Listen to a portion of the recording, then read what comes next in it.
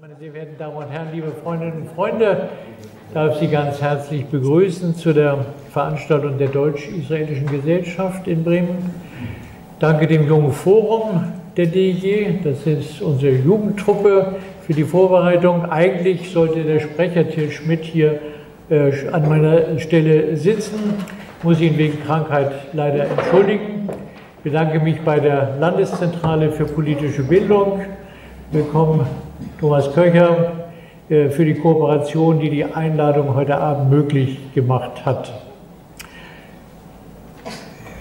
Wir haben ehrlich gesagt darüber nachgedacht, sollen wir heute Abend zu diesem Thema zusammenkommen, in diesen schrecklichen Tagen, wo die Gedanken und Aufmerksamkeit bei den Ukrainern und Ukrainern sind.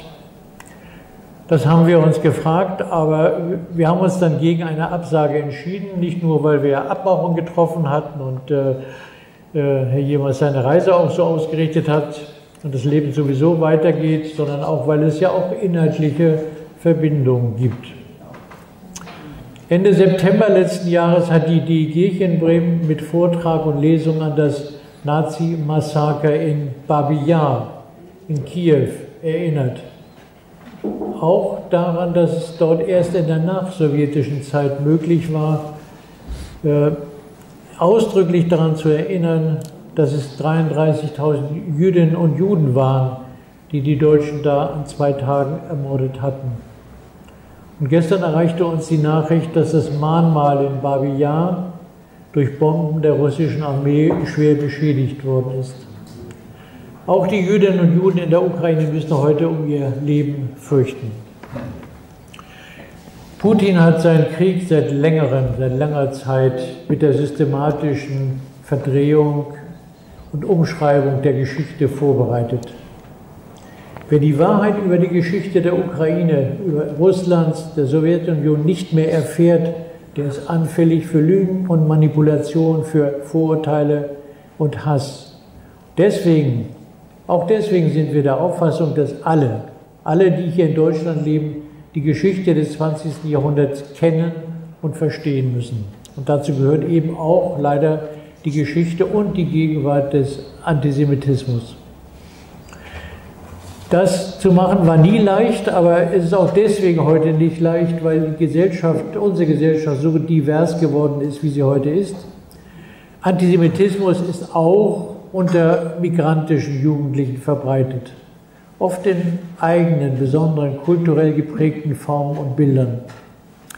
Entscheidend ist dabei das Wort auch, denn Antisemitismus ist vor allem das Problem der, wie man so sagt, biodeutschen Mehrheitsgesellschaft.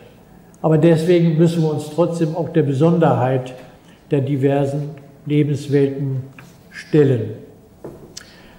Herr Burak Yilmaz, den ich ganz herzlich begrüße, hat sich dieser Aufgabe gestellt und auch darüber berichtet.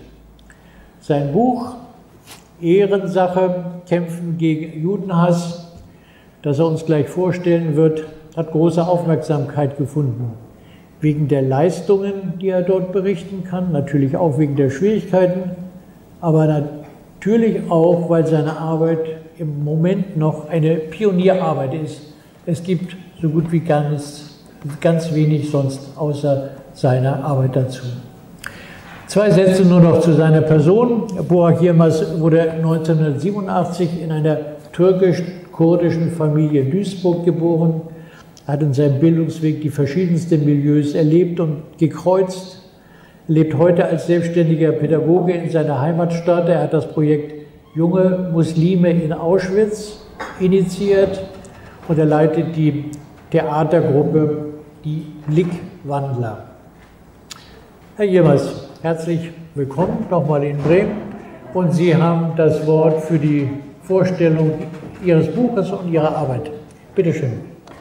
Ja, vielen Dank ähm, auch für die einleitenden Worte, aber vor allem auch für die Einladung. Ich freue mich sehr, hier bei Ihnen zu sein heute und ähm, Ihnen mein Buch vorstellen zu können, beziehungsweise auch mit Ihnen später ins Gespräch zu kommen über ein Thema, was weiterhin sensibel bleibt, äh, wo wir als Gesellschaft aufmerksam bleiben müssen.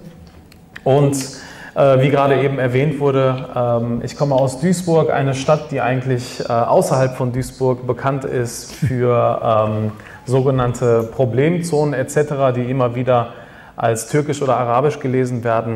Ähm, aber Migration ist in meiner Heimatstadt eigentlich seit äh, Jahrhunderten die Normalität und dazu gehört auch, dass wir eine sehr vielfältige jüdische Community haben, von denen auch nicht wenige Menschen aus der Ukraine bzw. aus der ehemaligen Sowjetunion äh, nach, nach äh, Duisburg kam, ins Ruhrgebiet. Und auch diese Geschichten habe ich versucht in meinem Buch ein wenig abzubilden. Und was mir in diesem Kontext eigentlich wichtig ist, ist ähm, Gesellschaft immer als Ganzes zu verstehen, weil ich eigentlich aufgewachsen bin in Zuschreibungen von wir und ihr, beziehungsweise wir gegen die anderen. Und ähm, ich habe eben versucht, in meinem Buch mir drei zentrale Fragen zu stellen. Die erste Frage ist eigentlich, was hat Antisemitismus mit mir zu tun als jemand, der nicht jüdisch ist? Zweitens, was waren so Momente in meinem Leben, wo ich begriffen habe, dass ich mich gegen Antisemitismus engagieren möchte?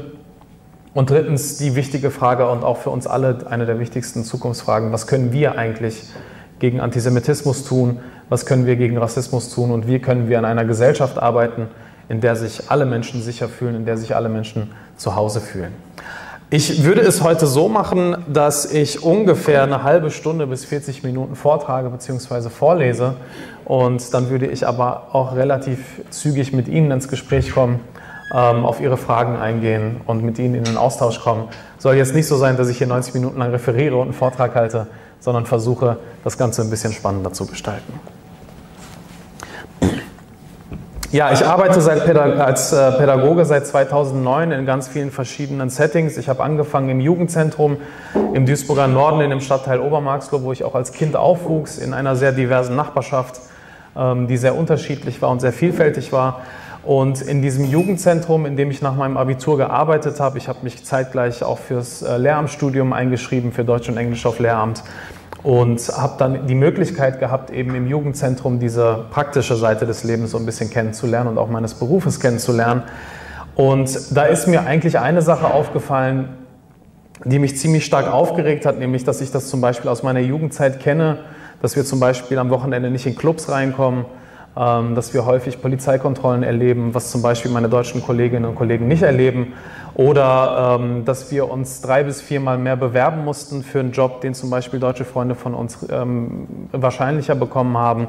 Und als ich dann im Jugendzentrum gearbeitet habe und die nächste Generation quasi genau dasselbe berichtet hat und erzählt hat, war das für mich eigentlich so ein Moment, wo ich gesagt habe, okay, ich muss irgendwie was machen, ich muss irgendwie was tun, um sie zu stärken in ihrem Selbstbewusstsein, ähm, zu schauen, was ich irgendwie anbieten kann, damit sie nicht so frustriert und depressiv durchs Leben laufen, wie ich das mit meinen Freunden gemacht habe ähm, sondern irgendwie etwas in die Hand zu geben, damit sie halt aus dieser Ohnmacht rauskommen. Und das war eigentlich so der Beginn des Ganzen, dass ich halt Projekte auf die Beine gestellt habe, vor allem künstlerische Schreibprojekte, wo es darum ging, eigene Erfahrungen zu verarbeiten. Und habe dann in diesem Ganzen eigentlich auch gemerkt, dass eben nicht nur die eigenen Erfahrungen mit Rassismus eine Rolle spielen, sondern dass zum Beispiel auch antisemitische Aussagen und Beleidigungen ziemlich normal sind. Das heißt zum Beispiel das Wort Jude als Schimpfwort zu benutzen, ähm, antisemitische Verschwörungsmythen zu teilen, bis hin, dass man ähm, offen keine Empathie gezeigt hat, offen kein Interesse gezeigt hat. Und das waren eigentlich für mich so Momente, wo ich gemerkt habe, okay, in dem einen Thema bin ich vielleicht ganz fit und ich weiß, wie ich mich positioniere und wie ich da Wissen vermitteln kann, aber das andere Thema, das haut mich selber so ein bisschen von den Socken und ich weiß gar nicht, was ich tun soll, was ich machen soll. Und in dieser Sprachlosigkeit, in der ich am Anfang war, da würde ich eigentlich meine erste Passage daraus vorlesen.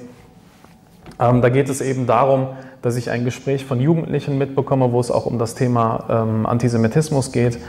Und das Ganze eigentlich in einer Sprache, die sehr unverblümt ist. Und es geht mir irgendwie nicht darum, ähm, gewisse Muster und Bilder zu reproduzieren, sondern was meine Herausforderung war, wie kann ich eigentlich Jugendliche erreichen, die so eine Sprache benutzen, weil ich gemerkt habe, mit meiner akademischen Sprache von der Uni komme ich da kein Stück voran, ich komme da kein Stück weiter. Und irgendwann hatte ich den Geistesblitz, dass ich mir dachte, okay, ich muss mir einfach ihre Sprache aneignen und sie in ihrer Sprache konfrontieren. Und das ist etwas, was für mich eigentlich eine riesengroße Erkenntnis war in meinem ersten Jahr. Und die Anfänge dessen würde ich Ihnen gerne in der ersten Passage einmal vorlesen.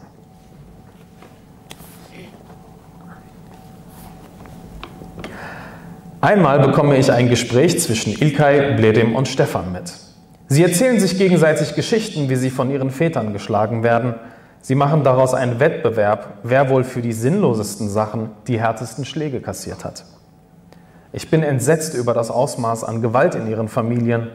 Trotzdem muss ich manchmal ungewollt mitlachen. Mike Tysons schnellster Knockout war nach 35 Sekunden. Bei meinem Vater dauert das nicht mal 5 Sekunden, sagt Ilkay. Sie können gar nicht aufhören und schaukeln sich gegenseitig hoch. Je gewalttätiger die Geschichten, desto lauter das Gelächter. Sie fragen, wie das bei mir zu Hause war. Als ich sage, dass ich Prügel selbst sehr gut kenne, wollen Sie mehr wissen. Äh, ich dachte, so Gymnasiumtypen wie du, die kriegen keine Schläge zu Hause, sagt Blerim und wir lachen alle. Aber Schläge muss sein. Wenn man Jungs nicht schlägt, dann werden sie Mädchen, meint Stefan. Ich würde meine Kinder auch streng erziehen, sage ich, aber ich würde sie doch niemals schlagen. Die Jungs verstehen nicht, wie man Kinder ohne Gewalt erziehen soll. Ehrlich gesagt, ich weiß es auch nicht, doch ich sage, dass diese Schläge uns doch eigentlich kaputt gemacht haben. Nein, nein, nein, nein, nein, das hat Männer aus uns gemacht, antwortet Ilkay und ich denke lange darüber nach, was er gerade von sich gegeben hat. Und von da an rede ich öfter mit ihnen über Familie, Erziehung, über meine eigenen Erfahrungen. Dabei wird mir bewusst, ich muss hier klare Regeln und Konsequenzen durchsetzen, sonst tanzen die mir hier alle auf der Nase rum und nehmen mich kein bisschen ernst. Diese Jungs sind nicht anders als wir damals, zu Hause klein und gehorsam, draußen groß und laut. Ich bringe ihnen das Schachspielen bei und baue dadurch eine Beziehung zu ihnen auf. Mit Schach erreiche ich auch die Jungs, die oft aggressiv sind und einer von ihnen ist Ilkay. Er kommt regelmäßig mit einem blauen Auge ins Jugendzentrum, weil er sich fast täglich prügelt. Er möchte sich unbedingt einen Namen auf der Straße machen. Er will sich und seinen Stadtteil auf die Karte packen. Mich lässt er diesen Drang spüren, legt sich jeden Tag mit mir an. Ilkay und seine Freunde wurden mehrfach angezeigt mit 16 Jahren. Ihnen ist das alles scheißegal. Er gehört zwar zu den Lauten, aber neben seinen Aggressionen hat er auch eine ganz andere Seite. Spielen wir zum Beispiel ein Schachturnier, dann ist er konzentriert, taucht ein in eine andere Welt. Er beobachtet genau und kann die Züge seines Gegners richtig gut einschätzen und erweist sich als unheimlich talentiert. Ich habe das Gefühl, dass er meditiert, wenn er Schach spielt, aber kaum ist die Partie zu Ende, wird er laut und vulgär. Er bewirft andere mit Gegenständen, provoziert mich mit abfälligen Kommentaren und sagt, bei einer Schlägerei bist du doch bestimmt der Erste, der wegrennt, oder? Er kommandiert die anderen, dass sie ihm Getränke holen sollen und etliche Male schmeiße ich ihn raus und nach tagelangen Reibereien gewinne ich endlich seinen Respekt. Ilkay hat sich mit den Jungs aus Obermarxloh angelegt. Normalerweise legt sich keiner mit denen an. Er spekuliert auf eine Schlägerei in der Hoffnung, einen von ihnen richtig umzuhauen und sich dadurch endlich einen Namen zu machen. Die aus Obermarxloh tauchen im Jugendzentrum auf und gehen auf Ilkay los. Ich kann das Ganze verhindern, weil ich den Vater des Anführers von den Freitagsgebeten kenne und ihm damit drohe, mich bei seinem Vater zu beschweren. Sofort zischt er mit seinen Jungs ab. Das hinterlässt Eindruck bei Ilkay, bis er selbst eines Tages das Jugendzentrum mit seinen Freunden stürmt. Es ist Samstagnachmittag. Ich mache die Theke sauber, während viele Jungs ins Schachspielen vertieft sind oder kickern. Wie aus dem Nichts stürmen Ilkay und seine drei Freunde herein. Sie stellen sich in einer Reihe auf und machen den Hitlergruß mit einem lautstarken Heil Hitler! Ich schreie sie an, dass sie sofort abhauen sollen und schmeiße sie raus. Ilkay läuft zusammen mit den anderen lachend weg. Sie grölen herum und Ilkay ruft mir ganz laut hinterher, wir sind Antisemiten, daran kannst du nichts ändern. Ich will wissen, wie es dazu kam und warum ausgerechnet Sie auf die Idee kommen, Heil Hitler zu rufen. Die anderen Jungs im Jugendzentrum trauen sich nicht, ihre Meinung laut auszusprechen, aber von ihnen höre ich, dass Ilkay und seine Freunde am gleichen Tag auf einer Anti-Israel-Demonstration waren. Die Demonstration sorgte für einen Skandal. Als der Demonstrationszug vor einem Haus stehen blieb, an dessen Fenster eine Israel-Fahne hing, die aufgeheizte Menge weiterhin antisemitische Parolen skandierte. Die Polizei griff ein, löste die Demonstration jedoch nicht auf, sondern stürmte die Wohnung, aus dessen Fenster die Fahne hing, und ließ sie abnehmen, woraufhin die Demonstrierenden jubelten und klatschten. Durch die Polizei sahen sie sich bestärkt in ihrem Hass auf Israel und die Juden. Die Bilder der Demonstration und des Eingreifens der Duisburger Polizei gingen später um die gesamte Welt. Die vier waren den ganzen Tag auf der Demo und haben dort ihren Hass weiter ausgelebt. Ich überlege, wie ich Ihnen ein Angebot machen kann, um über den Hass zu sprechen. Nach einem dreimonatigen Hausverbot bestehe ich auf ein Gespräch als Voraussetzung dafür, dass Sie wieder reinkommen dürfen. Dieses erste Gespräch handelt von ihren Vorurteilen gegen Juden und woher sie diese Vorurteile eigentlich haben. Einer von ihnen berichtet, dass er mit sieben Jahren die türkische Nationalhymne mit allen zehn Strophen auswendig lernen und jedes Mal vortragen musste, wenn Besuch kam. Als Kinder trugen sie Soldatenuniformen und spielten nach, wie sie die Türkei gegen Kurden, Amerikaner und Israelis verteidigten. In meiner Familie beschimpfen die Eltern ihre Kinder als Juden, wenn sie Scheiße bauen, sagt Ilkay. Und ich erzähle von meinem Opa und davon, wie Opa Israel und Amerika immer verfluchte, wenn wir Nachrichten geguckt haben. Doch Opa war die Ausnahme in unserer Familie. Bei diesen Jungs zu Hause ist es ganz anders, denn dort spielen Islamismus und türkischer Nationalismus eine große Rolle und Judenhass ist Teil ihrer Erziehung. Wie soll ich denen begreiflich machen, dass das alles menschenverachtend ist? Doch nicht nur bei den muslimischen Jungs spielen Juden eine Rolle, auch die Jungs aus der Mehrheitsgesellschaft haben ein negatives Bild von ihnen. Stefan, mit dem ich am Anfang und am ersten Tag im Jugendzentrum über Schläge vom eigenen Vater sprach, erzählt mir zur gleichen Zeit, dass seine Großeltern ein Hochhaus im Stadtteil Neumühl Judenbunker nennen. Denn dort wohnen viele jüdische Familien aus der ehemaligen Sowjetunion, die nach dem Mauerfall nach Deutschland kamen. Wenn Stefan über sie redet, dann hat er Hass in seiner Stimme. Er sagt, seine Großeltern meinen, Deutschland habe nur wegen der Juden so viel gelitten. Das sind Parasiten, sagen sie dazu. Dass die Juden von den Deutschen ermordet wurden, das möchte Stefan nicht von mir wissen. Ilkay und seine Freunde nennen das Hochhaus Judentower. Ich beginne unser Gespräch mit einer einfachen Frage. Warum wohnen die Juden eigentlich in diesem heruntergekommenen und armen Hochhaus? Ihr glaubt doch alle, die wären reich, oder? Sie denken ein paar Sekunden darüber nach, doch dann blocken sie wieder ab. Ja, das waren die ersten Monate in dieser Gruppe, beziehungsweise mit dieser Gruppe, die ich, ähm, die ich dort hatte.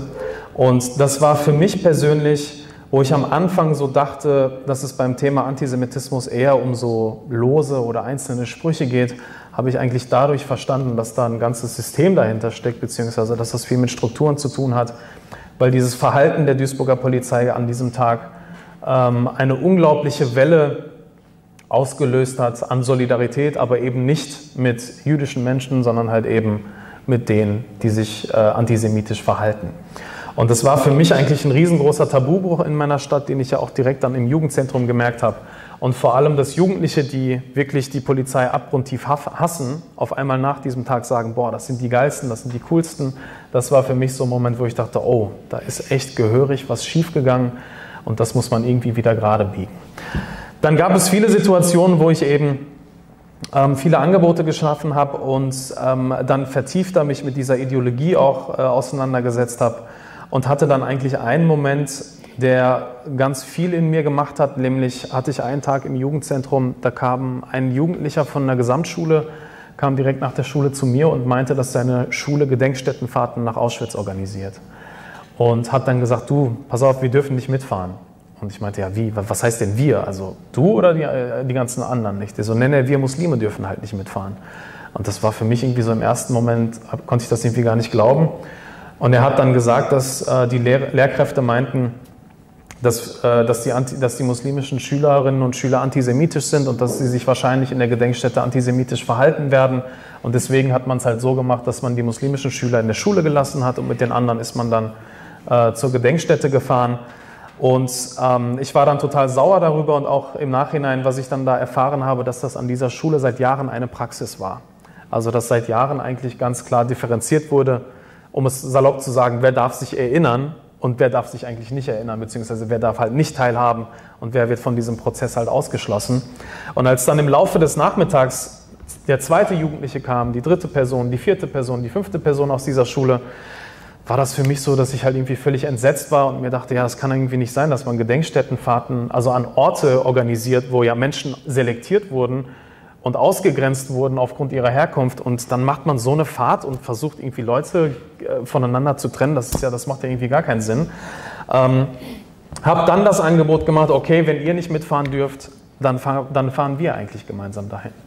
Und ich als jemand, der vielleicht nicht so viel Ahnung von äh, Gedenkstättenfahrten hatte, ich habe bis dahin noch nie so einen Ort besucht, ähm, hatte das Thema natürlich halt äh, intensiv in der Schule, aber habe dann trotzdem gesagt, dass es wichtig ist, sich mit dieser Geschichte auseinanderzusetzen Vor allem, weil ich auch Jugendliche hatte, die neben den antisemitischen Einstellungen natürlich auch ein großes Interesse hatten an Geschichte, an Politik, ähm, die zum Teil auch ähm, immer wieder in so einem Spagat waren zwischen ähm, ja, so die, die, die Erinnerungsräume der eigenen Eltern und Großeltern, die ja auch nochmal ihre Geschichten mitgebracht haben und dann halt auch noch mit ihrem Leben in Deutschland, also als Generation, die hier aufgewachsen ist, die hier sozialisiert wurde und dann immer wieder in so gewissen Loyalitätskonflikten halt war. Und als wir dann 2012 die erste Gedenkstättenfahrt organisiert haben, gab es eine Situation, da kann ich mich gut daran erinnern. Ich habe einen Katalog erstellt von Situationen und Momente, die da passieren können. Also zum Beispiel jemand weint, jemand kommt nicht drauf klar, ich muss jemanden rausnehmen aus der Gedenkstätte, muss mich um den kümmern etc. Ich habe wirklich ganz viele Fälle aufgeschrieben, was passieren kann, aber ich habe mir zwei Situationen nicht überlegt, nämlich die erste, die am ersten Tag passiert ist.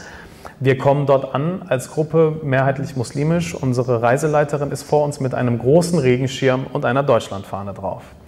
Und wir stehen unter diesem Regenschirm als Menschen, die in Deutschland nie als Deutsche gesehen werden. Und auf einmal werden wir in dieser Gedenkstätte das allererste Mal in unserem Leben als Deutsche wahrgenommen, weil die sehen, das ist die deutsche Gruppe, die Deutsch spricht, unter dem deutschen Regenschirm quasi. Und das hat uns völlig überfordert. Also erstmal überhaupt mit sich mit dieser Geschichte dieses Ortes auseinanderzusetzen, durch diese Ausstellungsräume zu laufen, diese ganzen Bilder zu sehen, die Geschichten der Opfer, das war ja alleine schon gewaltige, gewaltige Emotionen oder, oder auch Bilder, die man da gesehen hat. Und dann eben noch diese Konfrontation mit der, mit der deutschen Identität quasi, also dass wir gerade ausgerechnet an diesem Ort als Deutsche wahrgenommen werden. Ähm, das war halt etwas, was uns am ersten Abend so richtig umgehauen hat, wo wir dann auch am ersten Abend, kann ich mich daran erinnern, dass ein Jugendlicher so sarkastisch meinte, was sind wir denn jetzt eigentlich? Und einer meinte, ja, wir sind Deutsche. Der zweite meinte, ja, nicht so ganz. Und der dritte meinte, nee, wir sind keine Deutsche. Und irgendwie war an diesem Abend jede Antwort richtig. Und das war halt für uns eigentlich so ein Moment, wo wir halt irgendwie begriffen haben, ähm, dass es halt irgendwie total komisch ist, eben an diesem Ort ähm, so wahrgenommen zu werden. Und dann meinte einer noch relativ überspitzt, guck mal, das ist ja total komisch, wir sind hier in Auschwitz und werden als Deutsche wahrgenommen. In zwei Tagen sind wir wieder in Deutschland und dann sind wir wieder die Ausländer. Und das war so etwas gewesen, was bei uns sehr viele Diskussionen und Kontroversen ausgelöst hat. Ähm, und dann zusätzlich noch am zweiten Tag, und das war eigentlich so ähm, die, äh, die Situation, die uns auch ziemlich umgehauen hat, wo ich eben gerade meinte, dass ich mir einen Katalog erstellt habe von Situationen, die passieren können. Ich habe mir nicht vorgestellt, dass natürlich auch Israelis diesen Ort besuchen. Und ich dann natürlich auch mit Jugendlichen da bin, ähm, deren Eltern aus dem Libanon geflohen sind oder ähm, die Eltern, die palästinensisch sind und dann nochmal auch äh, quasi Kriegssituationen mit Israel ähm, direkt erlebt haben. Und dann sind wir da an diesem Ort und ich, bei mir war es auch persönlich so, dass ich bis zu dem Zeitpunkt Israelis nie kennengelernt habe. Also ich habe immer so ein Bild im Kopf, vor allem aus türkischen Serien, äh, als so die, die, die, die Männer in Uniform, die dann mit ihren Waffen auf Kinder äh, halt irgendwie gerichtet sind. Also das ist so eigentlich, eigentlich so das einzige Bild, was ich so assoziiert habe. Und dann laufen wir an diesen Gruppen vorbei und die sehen genauso aus wie wir. Und es war irgendwie so ein Moment, wo ich irgendwie total überfordert war und dann auch irgendwann gemerkt habe, dass da eine gewisse Spannung aufsteigt. Also ich habe irgendwie auch gemerkt bei den israelischen Gruppen, die gucken uns ganz komisch an. Also dadurch erstmal, dass wir so aussehen, wie wir aussehen und dann noch als Deutsche da sind. Und auf der anderen Seite habe ich auch gemerkt, dass, dass bei einigen Jugendlichen bei uns ähm, eigentlich eine ganz große Nervosität halt da war und ich irgendwann total die Angst hatte, wenn ich das aus einem Jugendzentrum kenne, da reicht halt ein Impuls und es kann halt komplett durch die Decke halt gehen. Und meine, meine Sorge war, dass gerade an diesem Ort was passiert und ich die ganze Zeit gar nicht mehr dieser Führung folgen konnte, sondern einfach nur, boah, ich muss achtsam sein, ich muss aufmerksam sein, dass gerade hier nichts passiert. Und dann ist eine Situation entstanden, die das Ganze total heftig äh, aufgelöst hat. Wir waren vor der Frauenbaracke, also die Baracke, wo die Frauen untergebracht waren. Da gab es eine israelische Frauengruppe, die einen Kranz niedergelegt hat. Und das war für unsere Jugendlichen auch sehr bewegend zu sehen, dass eigentlich ja auch die Israelis mit ihren Schwarz-Weiß-Bildern von den Eltern oder Großeltern da waren. Also auch nochmal so eine Perspektive, die für uns völlig neu war, weil wir uns eigentlich immer wieder gefragt haben, wie guckt eigentlich Deutschland auf diese Geschichte oder wie gucken die Deutschen auf diese Geschichte. Aber ich habe mir bis zu dem Zeitpunkt nie die Frage gestellt, wie schauen eigentlich die Juden oder wie schauen die Israelis eigentlich auf diese Geschichte, wenn ihre Familienmitglieder dort ermordet wurden. Das war auch nochmal eine Perspektive, die ich erst da irgendwie so wirklich verstanden habe. Und dann haben sie diesen Kranz niedergelegt. Einer von unseren Jugendlichen spricht dann spontan sein, sein Beileid aus und dann kommen wir mit denen ins Gespräch und es ist irgendwie total angenehmes Gespräch und dann fragt eine von den israelischen Frauen, ja, wo kommt ihr denn her? Und unser, einer von unseren Jugendlichen sagt, ich bin Palästinenser aus Deutschland. Und dieser Blick von der israelischen Frauengruppe, also dieses, diese Mischung aus Schock, Neugier, völlig verwundert, irgendwie da noch mehr irgendwie erfahren zu wollen, ähm, hat sich das Ganze eigentlich ganz gut aufgelöst, indem wir mit denen halt immer weiter gesprochen haben. Und ähm, das für uns auch so die erste wirkliche Begegnung halt war. Und dann gab es am Ende noch so eine sehr paradoxe Situation, dass ähm, die israelischen Frauen eine Einladung ausgesprochen haben, sie in Tel Aviv zu besuchen, weil sie aus Tel Aviv kamen. Und der palästinensische Junge meinte, ja, ich würde gerne kommen, aber ich bin staatenlos, ich kann halt nicht verreisen, das geht nicht. Und das war halt auch echt so ein Erlebnis, wo irgendwie ähm, ganz vieles so zusammenkam, was auch innerlich in uns ganz vieles ausgelöst hat. Und dann sind wir am nächsten Tag zurück nach Deutschland gefahren.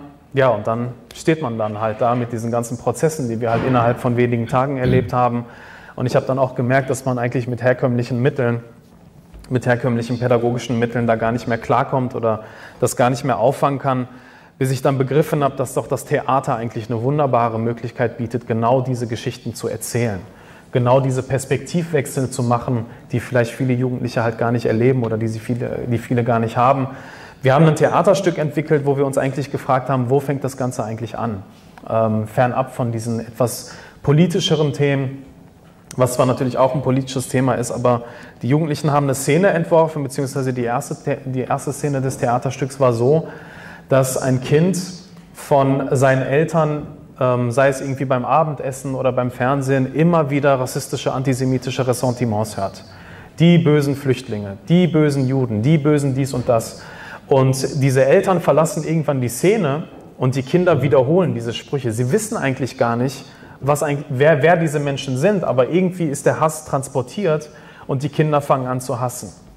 Das heißt, so diese, diese Generationskonflikte, die ja auch in vielen Familien eigentlich eine ziemlich große Rolle spielen und auch gerade in der aktuellen Situation immer wieder aufkommen, ähm, dass wir mit diesem Theaterstück diese Szene angefangen haben und wir haben am Anfang unterschätzt, wie viele Jugendliche an Schulen darauf reagieren und wie viele gesagt haben, das ist bei mir zu Hause genauso. Also die große Hoffnung, die wir hatten, dass sie das übertragen auf ihre eigene Lebenswelt, die war super spannend, dass wir dann halt mit diesem Theaterstück, was wir auf die Beine gestellt haben, zwei Jahre lang unterwegs waren und in diesen zwei Jahren eigentlich bundesweit ganz viele Schulen bespielt haben, von Hauptschule bis Gesamtschule, Gymnasium etc. und immer wieder gemerkt haben, wie wichtig das ist, solche Themen eigentlich äh, nicht nur zu thematisieren, sondern halt auch überhaupt einen Raum zu schaffen, um halt darüber sprechen zu können.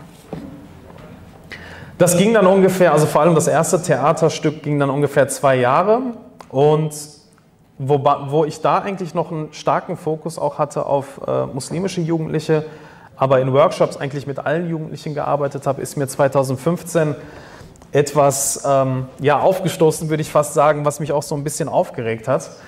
Ähm, nämlich gewisse Debatten, die halt geführt wurden, beziehungsweise gewisse Debatten, die einfach nur die Funktion hatten, diese Gesellschaft vom Antisemitismus zu entlasten.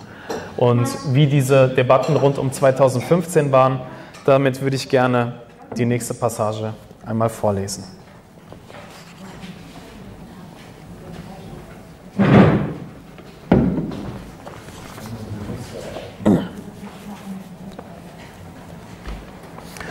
Die Flucht und Migration vieler Menschen aus Syrien gehen mir im Sommer 2015 sehr nah. Vor allem, weil ich das Gefühl habe, dass sich nach wenigen Wochen zum Teil paternalistischer Willkommenskultur die Stimmung rund um Pegida durchsetzt.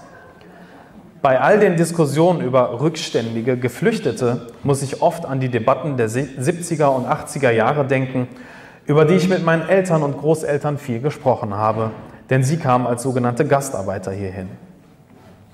Zum Beispiel an das bescheuerte Spiegelcover von damals.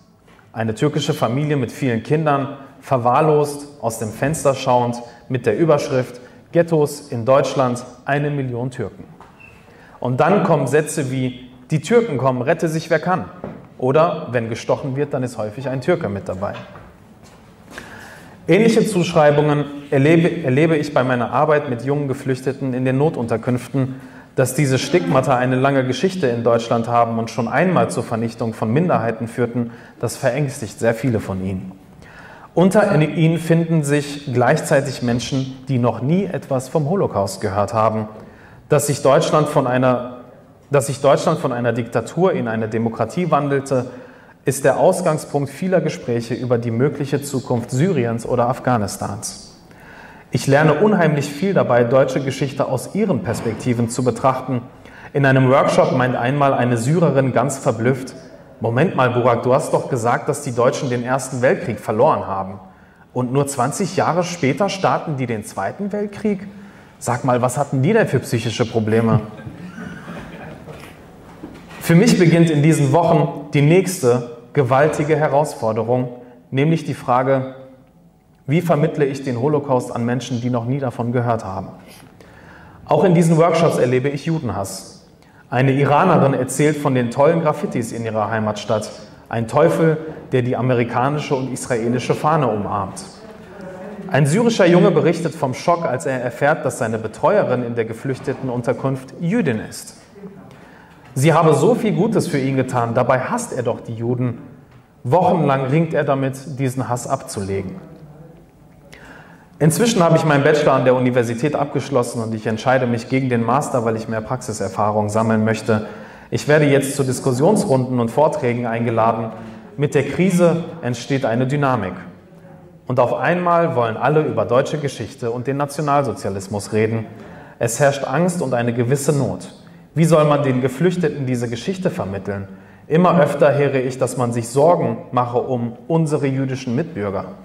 Es wirkt skurril, dass man sich so plötzlich für die Sicherheit der Jüdinnen und Juden interessiert. Auf einer Podiumsdiskussion in Hannover zum Thema Erinnerungskultur, an der ich als Gesprächspartner teilnehme und von den Gedenkstättenfahrten erzähle, schreit ein alter Mann in den vollbesetzten Saal. Merkel hat eine Million Antisemiten ins Land gelassen. Naja, dann sind wir jetzt 83 Millionen Antisemiten, antworte ich im Affekt. Nach meiner Pauschalisierung verlassen Menschen den Saal, aber der grobe Spruch des Alten bekommt Applaus. Der Begriff importierter Antisemitismus kursiert überall, als würde mit den Geflüchteten der Judenhass einwandern. Wie man in Deutschland von importierten Antisemitismus sprechen kann, das bleibt mir ein Rätsel. Dass es, sich aus, dass es sich jetzt ausgerechnet um die Sicherheit der Jüdinnen und Juden dreht, macht mich misstrauisch, der Judenhass der Geflüchteten wird als gigantische Bedrohung wahrgenommen, während der eigene weiter verdrängt und verschwiegen wird. Einen traurigen Höhepunkt solcher Diskussionen erlebe ich bei einer Lehrerfortbildung, die ich zusammen mit Kerim leite. Kerim war mit mir kurz vorher in der Gedenkstätte in Auschwitz. Ein Lehrer beschwert sich über Judenhass unter Geflüchteten. Deutschland sei mit seiner Erinnerungskultur so weit gekommen und die Geflüchteten würden nun alles kaputt machen, was man mühselig über Jahrzehnte aufgebaut habe. Wir sind nicht umsonst Erinnerungsweltmeister, sagt er stolz. Und gegen wen haben Sie im Finale gewonnen? Gegen Österreich? fragt Kerim. Mich entsetzt dieses Wort.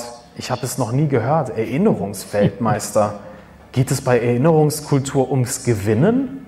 Und außerdem, Erst Weltmeister im Ermorden und dann im Erinnern oder wie? Was ist das denn bitte für ein Weltbild und ein Selbstbild? Ich vermute, dass die Vorurteile Geflüchteten gegenüber etwas mit der Besatzungssituation nach dem Zweiten Weltkrieg zu tun hat, denn damals unternahmen die Alliierten und vor allem die Amerikaner viel, um die antisemitischen, rassistischen und autoritären Deutschen zu demokratisieren. Vielleicht lösen die Geflüchteten so heftige Emotionen in ihnen aus, weil sie sie an ihre eigene Vergangenheit erinnern? Vielleicht projizieren sie ja alles auf die Geflüchteten, weil sie ihre nationalsozialistische Vergangenheit verdrängen wollen. Vielleicht geben die Geflüchteten den Deutschen aber auch das Gefühl, jetzt endlich selbst demokratische Erzieher sein zu können. Und mit dieser neuen Rolle liegt die Verantwortung für die Geschichte dann nicht mehr bei ihnen? Das sind alles so Gedanken, die in meinem Kopf kreisen. Doch zur gleichen Zeit nehme ich Weiterentwicklung wahr und dafür steht Merkels Satz, wir schaffen das. Dieser Satz markiert eine Zäsur, Während Helmut Schmidt mit Worten wie mir kommt kein Türke mehr über die Grenze in Erinnerung bleibt und die Kohl-Regierung sogar auf finanzielle Anreize zur Abwanderung türkischer Gastarbeiter setzte, verkörpert Merkel in diesem Moment eine optimistische und kämpferische Vision. Dass sie von einem Wir spricht, bedeutet mir in diesen Wochen sehr viel.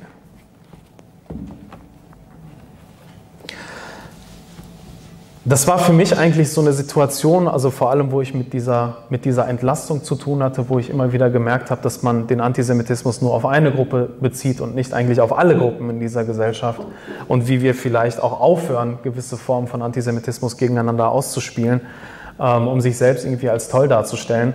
Das ist auch so ein Effekt leider, den ich manchmal auch aus der muslimischen Community halt kenne, in dem mit dem Finger auf andere gezeigt wird.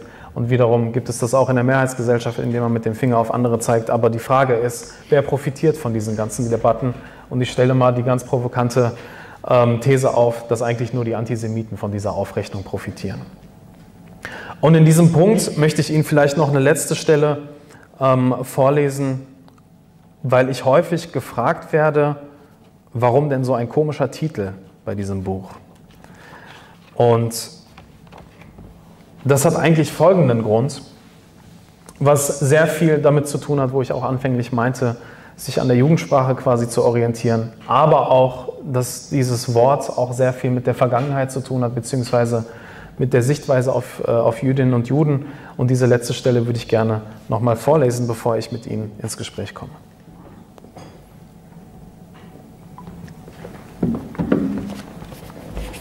Im April 2018 produziert die Echo-Preisverleihung einen Skandal. Die Rapper Kollega und Farid Bang sind in der Kategorie Hip-Hop nominiert und eine Zeile gerät im Vorfeld besonders in die Kritik. Zitat, mein Körper definierter als von Auschwitz-Insassen.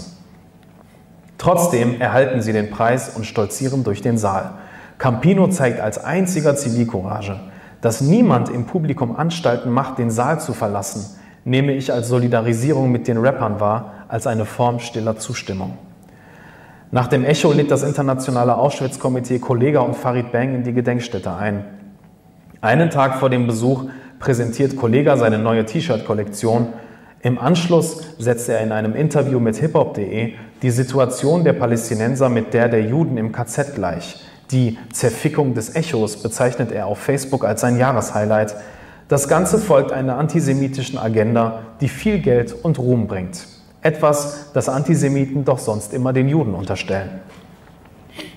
Statt den Skandal gründlich aufzuarbeiten, schreibt man den Judenhass schnell der Rap-Szene zu, als hätte niemand sonst etwas damit zu tun.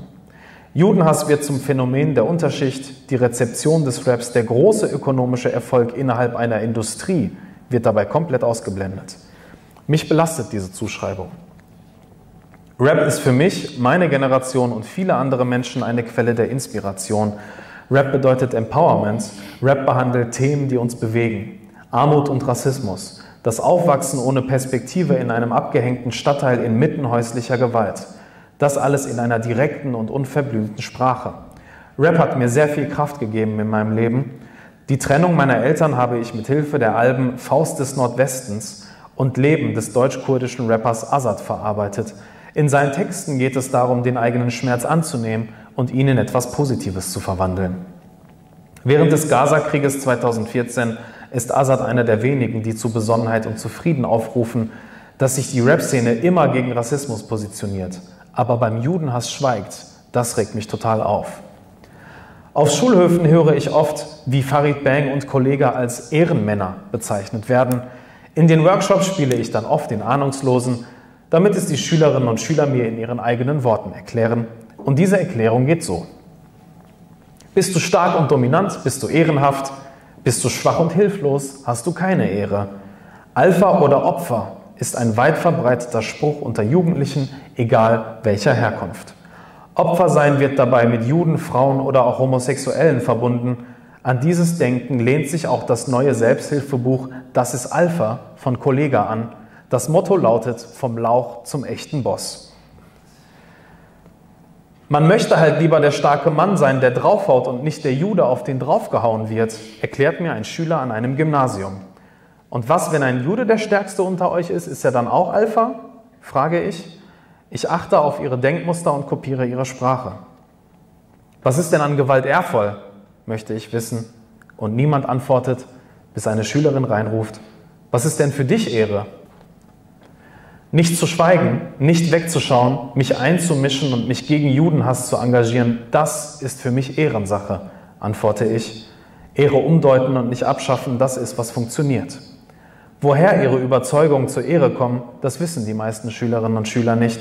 Ich behandle das völkische Verständnis der Ehre im Nationalsozialismus. Die Nürnberger Rassegesetze zum Beispiel sollten dem Schutz des deutschen Blutes und der deutschen Ehre dienen. Juden galten als ehrlose Menschen, Ehen mit jüdischen Personen als sogenannte Rassenschande, eine Straftat, auf die Gefängnisstrafe stand. Und mit diesem Wissen verlieren Sprüche wie Alpha oder Opfer ihre Selbstverständlichkeit. Die Schülerinnen und Schüler verstehen, dass sich hinter ihnen Denkmuster verbergen, die antisemitische Weltbilder bis heute reproduzieren. Vielen Dank fürs Zuhören.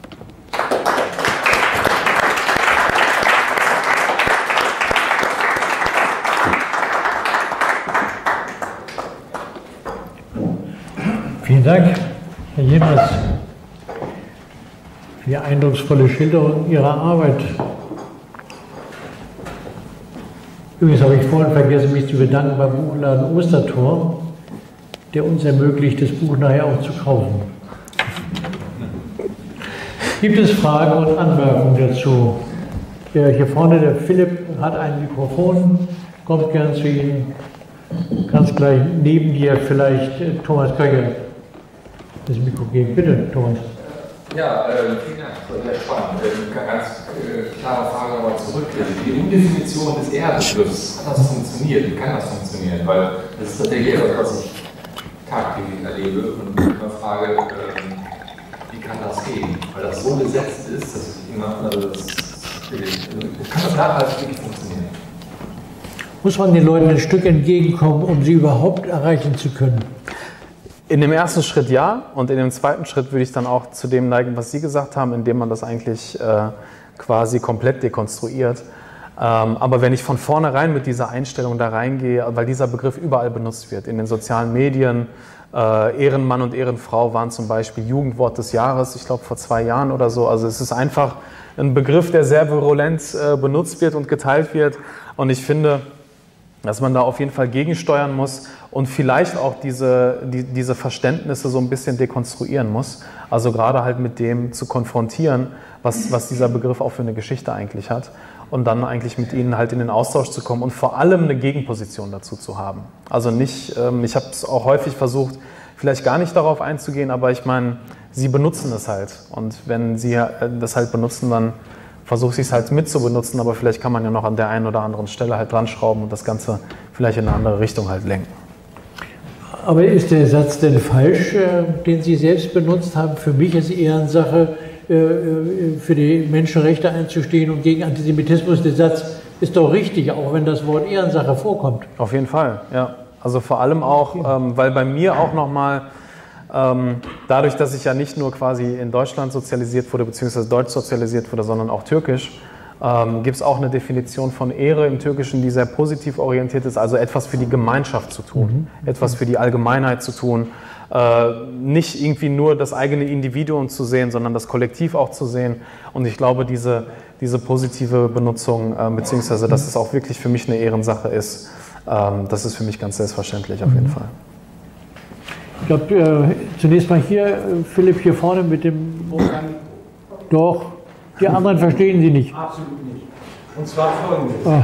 Der Begriff der Ehre, das ist deutlich geworden, ist natürlich in der türkischen Sozialisation ein ausgesprochen äh, fundamentaler Begriff, der familiär eingefangen wird. Familiär. Die Frage ist für mich, wie spielt das Soziale also im Grunde das Gesellschaftsverbindende in dem Zusammenhang eine Rolle? Oder ist, ist das wirklich auf den kleinen familiären Kosmos beschränkt, dieser Ehrbegriff? Dass im Grunde das ausgeschlossen wird, die Connections zur Allgemein, zum Kollektiv. Nee, das interessiert mich. Nee. nee, also da wird eigentlich nicht nur die eigene Familie gesehen, sondern zum Beispiel auch die Nachbarschaft oder darauf zu, also achtsam zu sein in Bezug auf dein eigenes Umfeld. Also dazu gehört halt nicht nur die Familie, sondern auch das größere Ganze. Ich bin auch kein Soziologe oder Politikwissenschaftler etc., aber das sind so die mündlichen Überlieferungen, ähm, die gerade auch in meiner Familie eine große Rolle halt gespielt haben. Also dass man zum Beispiel Respekt vor Älteren hat, das ähm, eine riesengroße Rolle spielt, dass man äh, in der Öffentlichkeit ähm, sowas, wie, sowas wie Anstand oder so besitzt etc. Also das ist halt nicht nur etwas, was man in der Familie halt behalten soll, sondern eigentlich diese Werte auch nach außen tragen soll. Dort dahinter war eine Wortmeldung, ein oder zwei, äh, mal schauen. Ich wüsste gerne noch ein bisschen was über das Theaterspielen. Wie haben Sie denn die Jungs dazu gekriegt, dass sie Theater spielen? Oder sind da auch Ja, also das waren nicht nur Jungs, das waren auch Mädchen, aber auch die Mädchen hatten ganz starke Hemmungen. Also das war jetzt nicht nur so eine Jungsnummer. Ich meine, bei den Jungs war es nochmal anders, weil die hatten Angst, dass sie vor den Mädchen irgendwie sich blamieren und ihr Gesicht verlieren etc. Aber ich habe etwas gefunden, was ich bis heute sehr gerne mache, indem ich erstmal sie nachspiele und nachmache. Und dadurch kommt dann viel Gelächter, die Stimmung wird ein bisschen lockerer.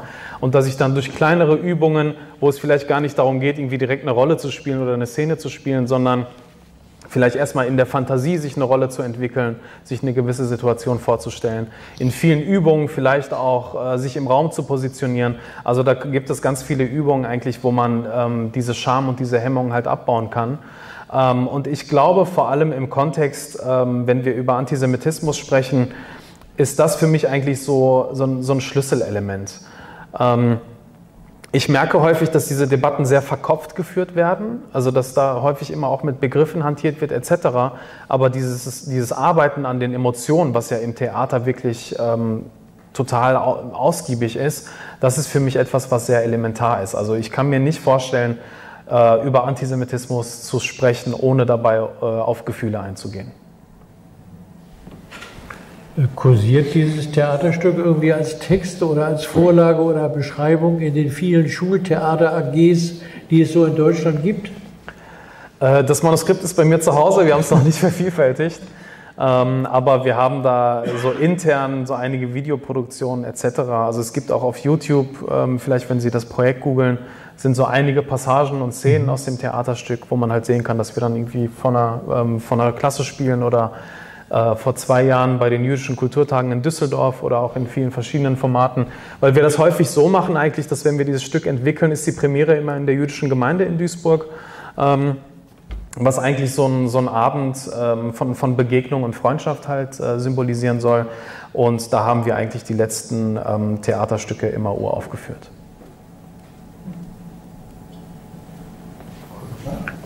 Ja, äh, ja also erstmal vielen Dank für, für den Vortrag.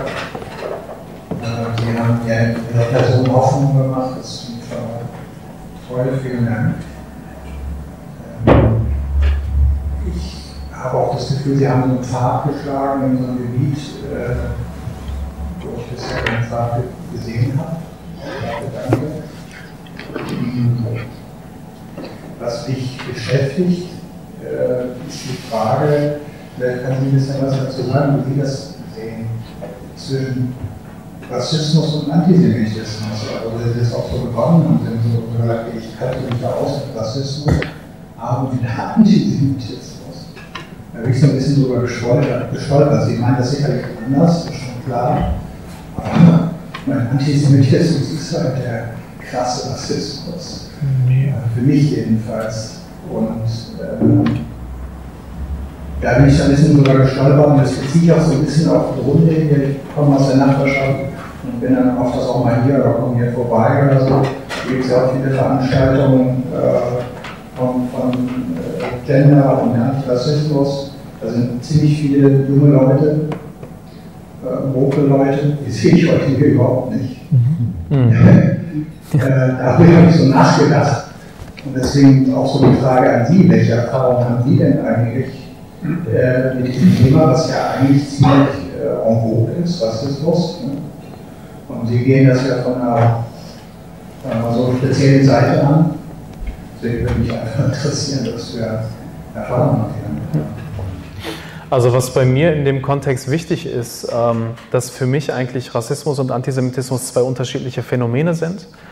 Ähm, und es geht mir eigentlich nicht darum, ähm, die Unterschiedlichkeit zu verdeutlichen, um das eine aufzuwerten und das andere abzuwerten. Weil ich häufig die Frage kriege, ja, was ist denn schlimmer? Das äh, Antisemitismus oder Rassismus? Aber diese Frage an sich ist eigentlich schon ein Problem, weil diese Phänomene gleichzeitig stattfinden. Also Antisemitismus richtet sich, es ist eine bestimmte Wahrnehmung von, von Jüdinnen und Juden, die sich gezielt gegen jüdische Menschen richten kann, gegen jüdische Einrichtungen richten kann, wo man zum, zum Beispiel dann auch äh, den Staat Israel als ein jüdisches Kollektiv beschreibt etc. Das ist nochmal eine andere Form. Und ich merke vor allem in der Arbeit, gerade wenn ich im Gefängnis arbeite, dass im Antisemitismus diese Verschwörungsmythen nochmal eine andere Dynamik an Gewalt auslösen.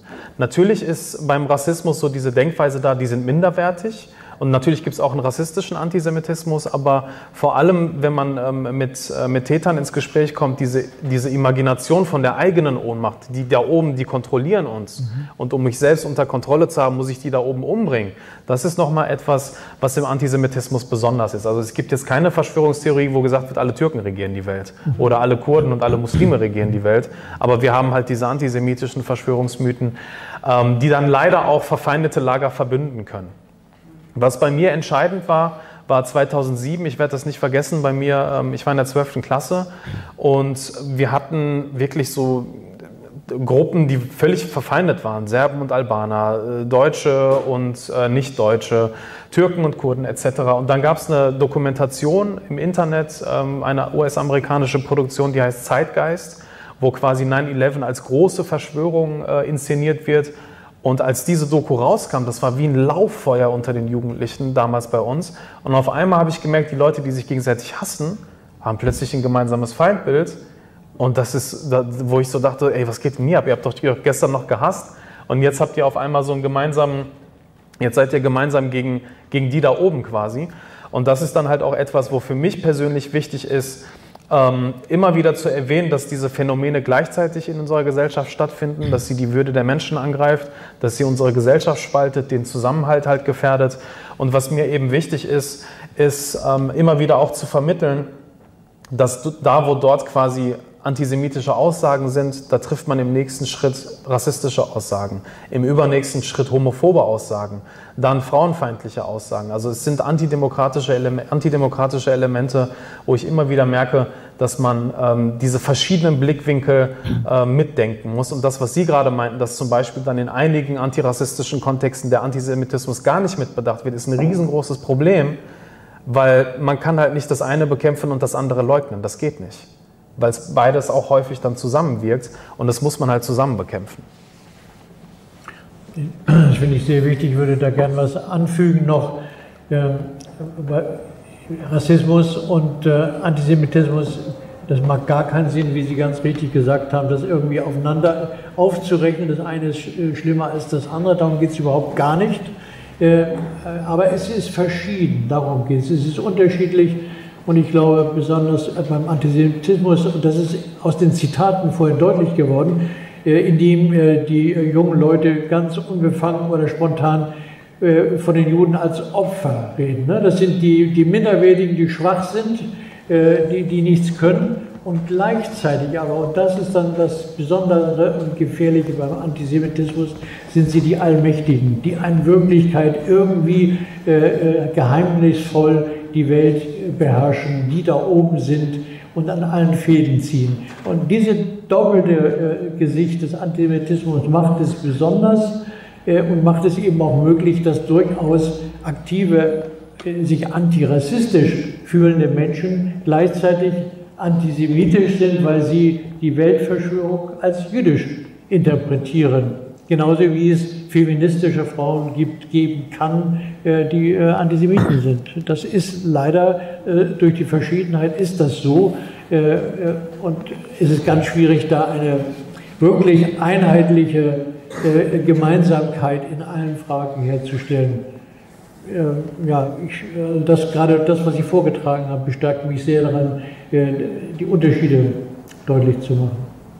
Aber gleichzeitig haben wir in der, in, vor allem in der Forschung auf jeden Fall einige gute, aktive Leute, die halt beides zusammendenken ja, und sich die Frage stellen, okay, wie können wir Bündnisse und Allianzen schaffen? Ja. Und auf welche Verschiedenheiten müssen wir achten? Was müssen wir auch so benennen und betonen? Aber gleichzeitig, wie können wir gemeinsame Strategien halt fahren? Es ist ein, immer wieder super komplex und schwierig, aber man muss halt dranbleiben. Man kann nicht äh, gewisse Sachen in Stein meißeln und dann sagen, ja, ist halt so, ändern wir nicht, sondern muss halt genauso wie die Gesellschaft dynamisch ist, auch dynamisch Debatten führen weswegen wir als deutsch-israelische Gesellschaft natürlich in unserem Programm haben, dass wir gegen jede Form von Antisemitismus auftreten, aber gleichzeitig uns ganz klar äh, so erklären, dass wir jede verallgemeinernde Kritik äh, zum Beispiel am Islam als nicht demokratiefähig oder feindlich oder sonst was genauso klar ablehnen. Also für uns ist das unteilbar im Grundsatz. Und all die Leute, die versuchen, sich äh, mit, der, mit der Fahne Israel äh, gegen die Muslime aufzutreten, wie die AfD das versucht, äh, sind unsere politischen Gegner, um das ganz klar zu sagen. Wo sehe ich noch im Moment Fragen? Ich gucke so gegen das Licht, deswegen. Ja, bitteschön. Folgendes. Diese grundsätzlich vorhandene Bereitschaft zu Hate Speech. Hate Speech ist natürlich im Grunde eine Folge von fehlender, von einer grundsätzlich fehlenden äh, Selbstwirksamkeit. Dass also diese Jugendlichen im Alltag im Grunde kaum Erfahrung sammeln können, dass sie auf ihre unmittelbare Umgebung Einfluss haben, unmittelbaren Einfluss haben in puncto Veränderung. Sie müssen sich also ein Ventil schaffen, um diesen äh, Druck, um diesen, äh, um Dampf abzulassen. Dampf abzulassen kann man natürlich im Grunde dadurch, dass man Sündenböcke äh, identifiziert mit denen man ursprünglich aber im Alltag nichts zu tun hat. Also das ist im Ungefähr. Die, die Konflikte, die im Alltag auftauchen, sollte man auch im Alltag face-to-face äh, gegenüberstehen. Und diese Jugendlichen haben aber leider nicht die Chance, im Kollektiv, also zusammen, individuell, gibt es natürlich keine Möglichkeit, solche Probleme anzugehen. Aber wenn in den Jugendgruppen kann durchaus so etwas geschehen wie eine Gruppendynamik. Und diese Gruppendynamik sollten zum Beispiel, zum Beispiel solche Personen wie Sie im Grunde auch durchaus befeuern, um die Jugendlichen zu ermutigen, Selbstwirksamkeit zu erfahren. Ja. In dem ich finde, da gibt es durchaus Zusammenhänge. Mhm. Ich glaube, in dem und Kontext. Dieser, und jetzt in Gänsefüßchen Opferrolle herauszukommen. Ja. Das ist zentral. Also ich glaube, so dieses Gefühl von Ohnmacht kennen, glaube ich, sehr viele in ihrer Jugendzeit. Das ist auch so ein Gefühl, was, äh, was ich sehr ausgeprägt hatte. Aber wichtig sind ja auch so zu vermitteln, was habe ich für Handlungsspielräume in meinem Alltag? Was kann ich eigentlich verändern in meinem, in meinem Leben? Ich meine, ich kann vielleicht nicht die Welt verändern mit 15 äh, oder 16 Jahren, aber ich kann vielleicht gucken, dass ich meine Welt verändern kann. Und in dem Kontext spielen eigentlich, und das vergessen wir sehr oft, ähm, nicht eine Jugendliche eine Rolle, sondern vielmehr Erwachsene. Seit der Corona-Krise habe ich an Schulen häufig Diskussionen, dass Jugendliche sagen, meine Eltern sind seit Corona in irgendwelchen Gruppen unterwegs, bei Telegram, keine Ahnung was, die sind nicht mehr zugänglich. Die radikalisieren sich, sind nur noch in ihrer Bubble unterwegs. Also die Jugendlichen, die ja eigentlich damit aufwachsen, mit sozialen Medien umzugehen, sind da relativ kompetent drin. Aber die Eltern, die driften halt völlig in eine Welt halt ab, die, wo sie halt selber sagen, ey, ich habe das Thema noch nie gehört, eigentlich erst durch meine Eltern. Beim Abendessen reden die auf einmal von Verschwörung, ich soll mich nicht impfen lassen und keine Ahnung was. Ähm, und da merke ich halt eigentlich, dass auch da dieser Generationskonflikt eine ganz starke Rolle halt spielt. Also dass man da erstens natürlich halt auch Jugendliche stärken muss, da eine gewisse Haltung zu zeigen. Aber auf der anderen Seite, wie ist das eigentlich mit den Erwachsenen, die dann halt häufig den Finger auf die jüngeren Leute zeigen und sagen, ja, ihr seid das Problem, obwohl sie selber eigentlich noch nicht fertig sind, gewisse sich, sich gewisse wichtige Lebensfragen zu stellen. Nee, hier, können, können Sie noch was dazu sagen zu der Rolle der, der Verbindung der türkischen Jugendlichen äh, zu ihren Heimatländern, also zu der Türkei? Spielt das eine Rolle, äh, das türkische Fernsehen, spielt das eine Rolle äh, in der Beurteilung der Juden oder Israels, welchen Kurs Erdogan gerade fährt? Äh, ob er frontal Israel angreift oder mal wieder ein bisschen laviert, wie das jetzt der Fall ist. Also kriegen Sie das mit. Ich erzähle mal eine Anekdote. Vor einigen Jahren war ich in der Schule eingeladen, habe diskutiert mit 15-, 16-jährigen Schülern, waren auch äh, Leute dabei, die sich selbst als türkisch bezeichnet haben. Und der eine hat mir sehr eloquent erzählt, äh, dass äh, eigentlich äh, äh, Besitzer, Eigentümer von Palästina die Türkei ist und dass die Türkei äh, den Palästinensern, also den Arabern, das jetzt überlässt und dass deswegen die Juden keinen Platz dort haben. Also das war die Theorie, äh, das muss ja irgendwoher gehört haben. Äh, also spielt das eine Rolle und dann noch eine Nebenfrage, spielt der Unterschied zwischen den Türken und den kurdischen Türken eine Rolle? Also nehmen die das anders wahr? Ist es vielleicht kein Zufall, dass Sie in einer kurdischen Familie aufgewachsen sind? Ich glaube, das war schon ein Zufall, dass ich okay. da aufgewachsen bin, aber das ist nochmal eine andere Frage. Aber ähm, also erstmal, ähm, es ist, glaube ich, etwas, was man noch erforschen müsste, inwiefern eigentlich Ereignisse außenpolitisch eine Wirkung auf Jugendliche hier haben, die jetzt doppelte oder dreifache mhm. Identitäten haben. Ähm, ich habe mit einem Freund, haben wir einen Artikel geschrieben vor, vor ungefähr zwei Jahren ähm, für das Jahrbuch der Antisemitismusforschung. Da ging es um eine türkische Serie, die, die, die in den letzten zehn Jahren eine der erfolgreichsten Serien war, wo das Leben des letzten Sultans gezeichnet wird voller Verschwörungsmythen. Äh, der Gegenspieler ist Theodor Herzl, der immer so dunkel abgelichtet wird und seine jüdischen Freunde haben irgendwie alle so große Nasen und haben so, so Mäntel an und Hüte, also alles sehr klischeehaft, sehr beladen mit Vorurteilen. Ähm, und dass die sich dann auch immer wieder an, an Orten treffen, die völlig abgeschlossen sind, also wo auch nochmal mit diesen Bildern von Strippenziehern etc. gespielt wird. Und da ist eigentlich der Antisemitismus, hat da zwei Ursachen. Erstens ist er Israel bezogen. Ähm, und er macht quasi so ein bisschen so diese, dieses, ähm, dieses Geschichtsnarrativ auf, es gibt das Osmanische Reich nicht mehr, weil die Juden Israel gründen wollten. Mhm. Das ist so ein sehr dominantes Narrativ in, in dieser Serie. Und zweitens wird er religiös begründet. Da werden dann ähm, gewisse, gewisse Dinge halt irgendwie, also dass dann zum Beispiel so teuflische Symboliken etc. dann halt auch so erscheinen. Also es ist halt dieser, dieser religiös begründete Judenhass. Ähm, und da merke ich, dass natürlich Jugendliche, die sich das halt anschauen, diese Bilder halt äh, natürlich wahrnehmen und halt auch sehen. Das heißt nicht automatisch, dass sie dadurch sofort antisemitisch werden, aber trotzdem ist es halt da und es läuft halt irgendwie im Fernsehen. Und ähm, da merke ich dann halt auch, wenn ich in Workshops zum Beispiel dann auch thematisiere, was sind eure Erfahrungen mit Antisemitismus, dass in einigen Klassen dann diese Serie als Beispiel genommen wird, nach dem Motto, da wird die Wahrheit erzählt. Mhm. Aber dass das Ganze zum Beispiel ähm, Teil eines Staatsprogramms ist mhm. im Staatsfernsehen und natürlich eine gewisse Soft Policy nach außen haben soll und dann auch natürlich die Diaspora quasi ähm, befeuern soll, obwohl man gar nicht eigentlich von Diaspora reden kann, weil eine Generation oder mindestens zwei hier geboren sind. Da merke ich eben immer wieder, dass das dann schon seinen Einfluss hat. Ein anderer negativer Aspekt in dem Ganzen ist dann zum Beispiel, was man, ähm, was ich häufig merke, dass das in den Schulen nicht aufgefangen oder thematisiert wird, sondern eher noch bestätigt, indem man erstens ähm, türkeistämmige oder türkischstämmige Jugendliche permanent mit Geschehnissen in der Türkei konfrontiert nach dem Motto, was macht euer Präsident da? Mhm. Was macht er da mit den Kurden? Was macht er da mit den Russen? Was macht er da mit der NATO und so weiter? Und die sitzen dann da und verteidigen das Ding natürlich, weil, weil ich kenne das aus, aus, aus meiner Biografie, also auch wenn ich da nicht der gleichen Meinung bin, aber dadurch, dass mich da jemand angreift, gehe ich natürlich in Konfrontation und ich gehe auch in Provokation.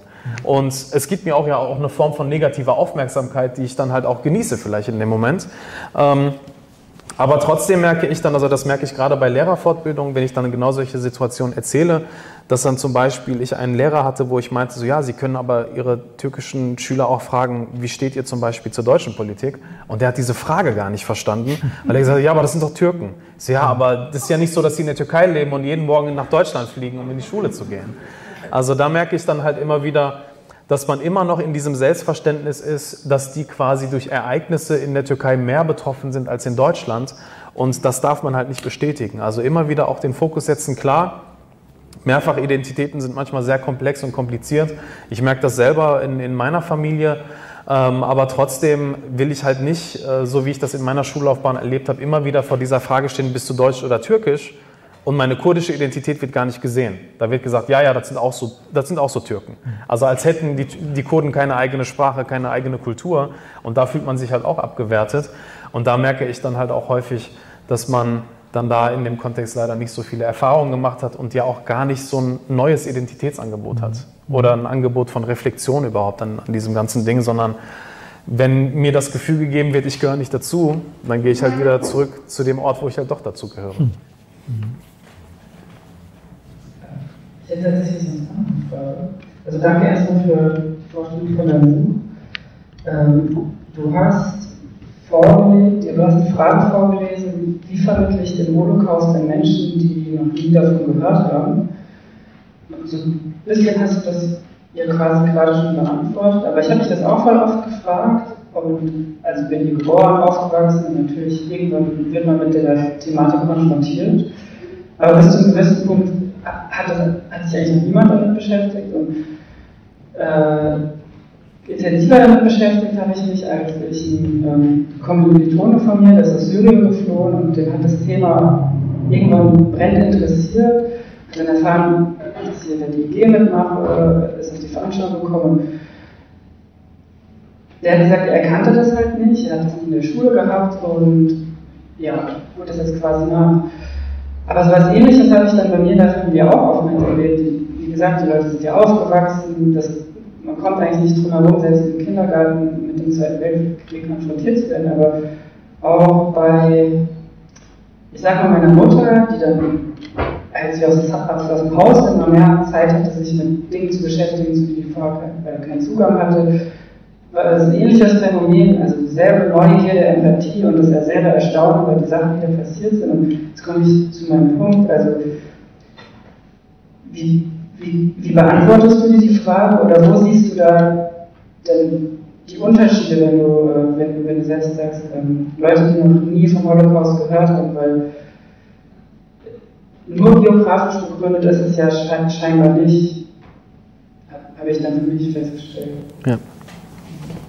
Also ich habe mir diese Frage gestellt, weil ich 2015 eine Begegnung hatte mit ähm, zwei afghanischen ähm, Geflüchteten, die wirklich ähm, in, in ihrem Dorf, äh, also da, äh, ich habe die Frage gestellt, was habt ihr in, äh, in, in Afghanistan über Deutschland gehört? Und dann kamen halt nur so Sachen wie, ja, die bauen Autos und die trinken Bier und äh, also kamen lauter solche Sachen. Und ich habe die ganze Zeit gewartet, okay, irgendwann müssen die ja schon sagen, dass das dass, dass hier ähm, der, der Holocaust verübt wurde. Und dann habe ich so leicht nachgehakt, hast du noch mehr über Deutschland erfahren? So, ne, das sind die einzigen Sachen, die ich halt gehört habe. Und das war dann für mich so, dass er halt in seiner Schulbildung, also er war auch nicht so viele Jahre in der Schule, dass er überhaupt nichts davon gehört hat. Und dann habe ich eben auch in anderen Workshops diese Erfahrungen halt gemacht, also wo es eigentlich gar nicht Teil des Bildungssystems war oder Teil, Teil der Bildung war. Und das war für mich so, dass ich mir dachte, okay, vielleicht, ähm, ja, also wie, wie, wie erzählt man das? Wie erzählt man diese Geschichte einem Menschen, der das noch nie gehört hat? Also ich habe da bis heute nicht so eine, so eine wirkliche Antwort halt äh, drauf, aber ich arbeite dran. Ähm, und ich merke dann häufig, dass wenn wir dann zum Beispiel in so einem Zeitraffer, also in, in, so einer Übung, wo es zum Beispiel um die Geschichte Deutschlands geht, ab 1900, in so einem Zeitraffer diese Übung zum Beispiel machen, dass das erstmal richtig viel Angst auslöst. Weil die sagen, guck mal, wie die mit den Minderheiten umgegangen sind hier mhm. und warum bin ich denn hier hingekommen, oh mein Gott. Mhm. Und das ist halt eine Schocksituation und das muss man halt erstmal auffangen. Und das ist halt etwas, was Zeit braucht, was Raum braucht ähm, was auch einen langen Prozess halt braucht. Und das war, also das erinnert mich vor allem an meine Sozialisation, wo ich dann auch die ersten Male ähm, in der sechsten Klasse vom Holocaust gehört habe. Ich habe ich war sauer auf meine Großeltern, weil ich gesagt habe, warum seid ihr denn hier hingekommen? Hm. Warum nicht nach Frankreich oder nach England? Warum denn hierhin? Wo, also wir haben in der sechsten Klasse Schindlers Liste geguckt. Und das war für mich ein Schock in so einer, auf so einer riesen Leinwand im Klassenzimmer. Und ich saß auch noch in der ersten Reihe. Ich war völlig entsetzt. Ich hatte so Angst vor den Deutschen. Ich so, boah, ich will, ich will direkt nach Hause. Ich habe gar keine, was soll ich denn jetzt über die denken? Also das beschreibe ich halt auch in dem Buch, wie mich das halt völlig verstört hat. Und man, natürlich guckt man halt anders darauf, wenn man rassistische Gewalt zum Beispiel kennt. Wenn man Ausgrenzung kennt und dann auf einmal sieht, oh, das kann auch so enden und halt nicht nur mit blöden Sprüchen in der Bahn oder so. Und ich glaube, über genau diese Angst zu sprechen, ist halt wichtig. Und leider passiert es dann häufig so, dass gerade Geflüchtete mir dann erzählen, dass in Integrationskursen dann gesagt wurde, so, ja, in Deutschland gibt es Regeln und die gelten auch für euch und äh, ihr müsst unbedingt was über den Holocaust erfahren etc., aber man geht gar nicht auf die Emotionen ein, die diese Menschen halt dann, dann halt haben. Und genau dieses, dieses Arbeiten an den Emotionen, damit sie auch vieles verstehen. Also warum zum Beispiel Vergangenheit nicht nur abgeschlossene Vergangenheit ist, sondern auch Teil der Gegenwart, warum Erinnerungskultur wichtig ist, warum eigentlich jede Generation sich mit dieser Geschichte aus neu auseinandersetzen muss. Diese vertieften Prozesse muss man halt vermitteln und nicht nur so als Einmalding nach dem Motto, ihr müsst euch einmal damit auseinandersetzen und das war's, sondern ihr seid jetzt hier und wir müssen uns jetzt alle damit beschäftigen.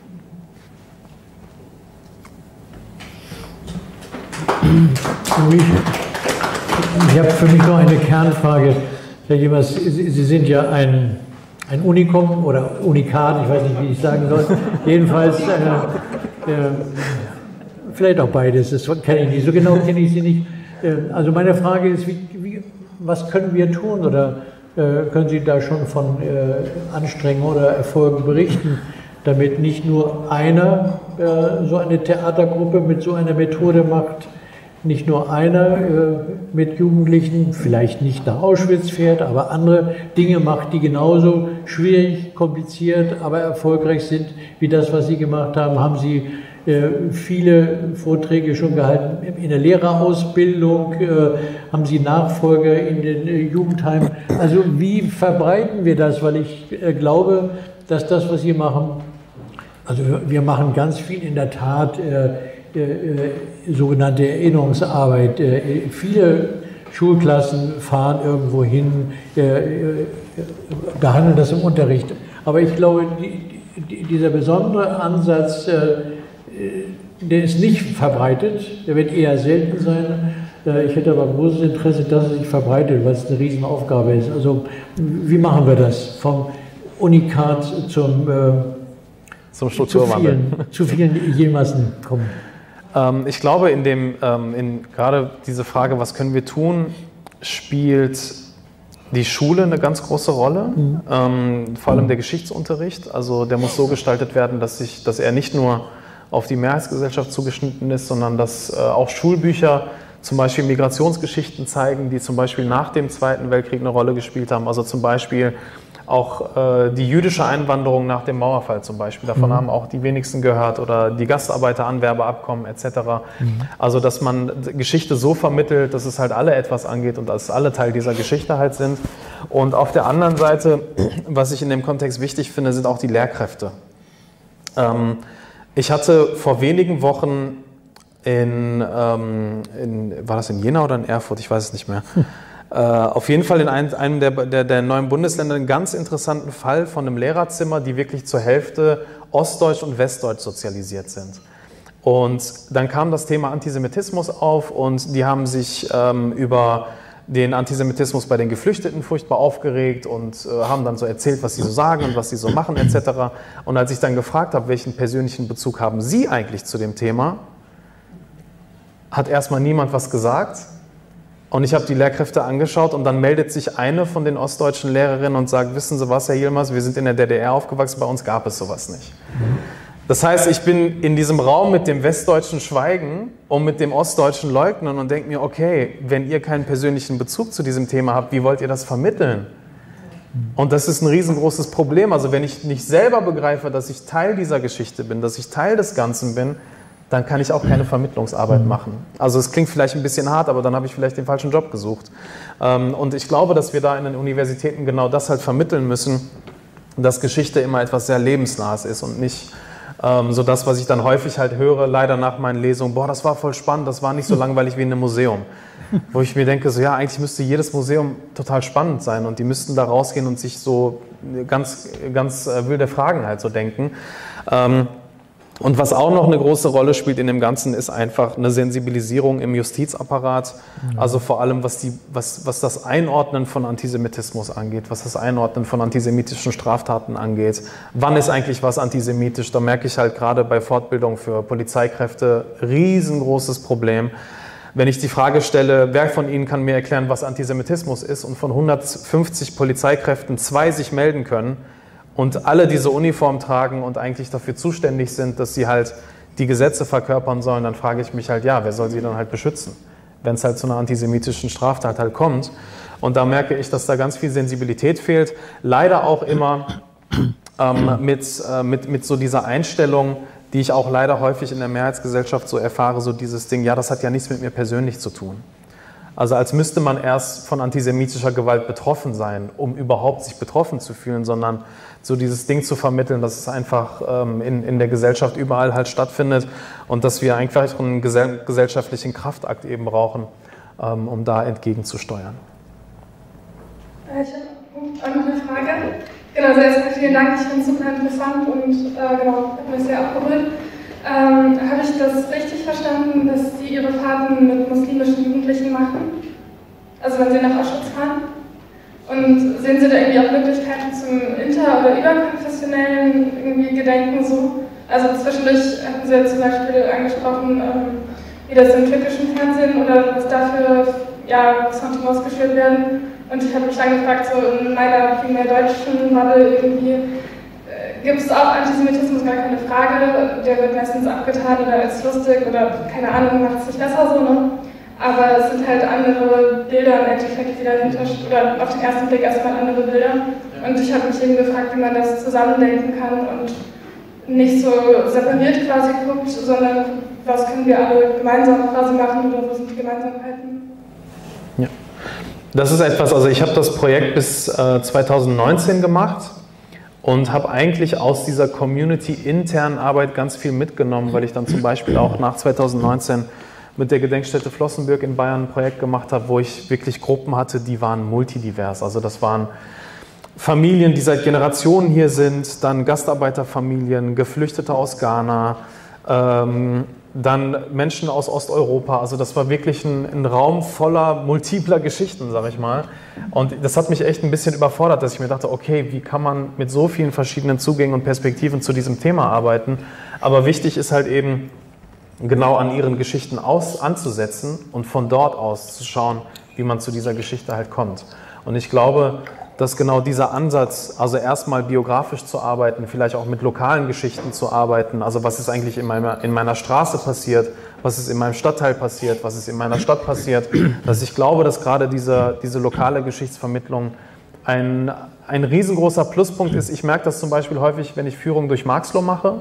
Marxloh ist auch sehr divers. Ich habe manchmal Schulklassen von 25 Kindern und 30 Nationalitäten und sieben, acht Religionen wo es halt irgendwie total unterschiedlich ist. Aber wenn wir dann die Orte begehen, die sie aus ihrer Kindheit kennen, die sie aus ihrer Jugendzeit kennen und auf einmal sehen, ah, guck mal, da, wo ich ein, einkaufen gehe, da hatte vorher ein jüdischer Kaufmann sein Geschäft und der wurde halt in der Pogromnacht niedergebrannt.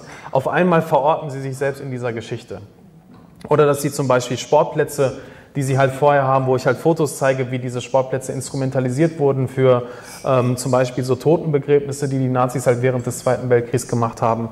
Oder dass vor dem Amtsgericht ähm, so, so, ein großer Platz, wo sich viele Jugendliche heute treffen, dass man da riesengroße Hakenkreuzfahnen hatte etc. Also mit den Geschichten zu arbeiten aus ihrem Kontext und ähm, eigentlich mit denen so eine Zeitreise durch ihren eigenen Stadtteil zu machen. Das ist für mich etwas, ähm, wo ich immer wieder merke, da kommt man auch so ein bisschen weg von diesen ganzen Debatten, spricht die das jetzt an, ja oder nein, wegen angeblich national anderen Erinnerungsräumen oder so, sondern sie leben ja da.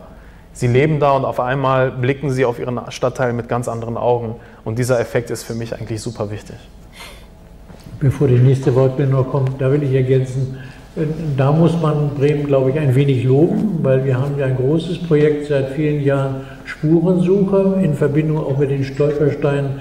Und ganz viele der äh, Stolperstein-Beschreibungen, der Aktionen, die es dabei gegeben hat, sind mit und von Schulklassen gemacht worden. Und da ist genau das eingetreten, was Sie geschildert haben, äh, dass das für die Schülerinnen und Schüler extrem interessant und, und äh, also anteilnahmeweckend ist, wenn sie äh, hören und sehen, wer dort gelebt hat, wie es ihm ergangen ist. Also ich glaube, der Punkt wird natürlich nie perfekt, aber doch in weiten Teilen in Bremen ganz gut gemacht. Ob das die, die, die eher migrantisch äh, orientierten Kinder auch so mitnimmt, das kann ich nicht beurteilen. Das ist vielleicht noch eine andere Frage. Ne? War es da oben noch eine Wortmeldung? Richtig?